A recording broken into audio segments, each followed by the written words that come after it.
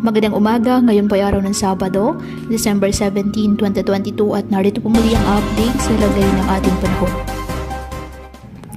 Ayon sa pag-asa, patuloy pa rin po ang pag-iral ng northeast monsoon at nakakaapekto ngayon sa northern Luzon. Samantala, wala naman po tayong bagyo o low pressure area na minomonitor sa loob at labas ng ating Philippine area of responsibility na maaring makaapekto sa ating bansa.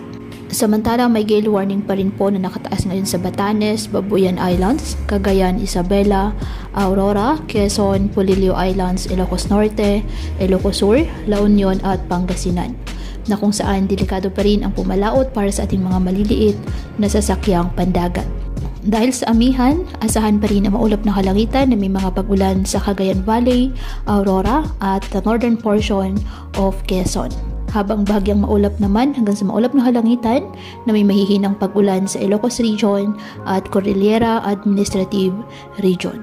Habang sa nalalabing bahagi ng ating bansa, kasama na ang Metro Manila, ay asahan ng bahagyang maulap hanggang sa maulap na halangitan with isolated rain showers or thunderstorms dahil sa ITCZ at ng mga localized thunderstorms. Kaya patuloy pa rin natin na pinag-iingat ang ating mga kababayan sa banta po ng pagbaha at pagguho ng lupa at ugaliin po na magdala palagi ng payong o kahit anumang panangga sa ulan sa tuwing lalabas ng ating mga tahanan.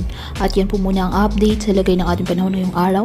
Muli patuloy po tayo na mag-ingat at palaging tandaan, God loves you. Stay safe and God bless.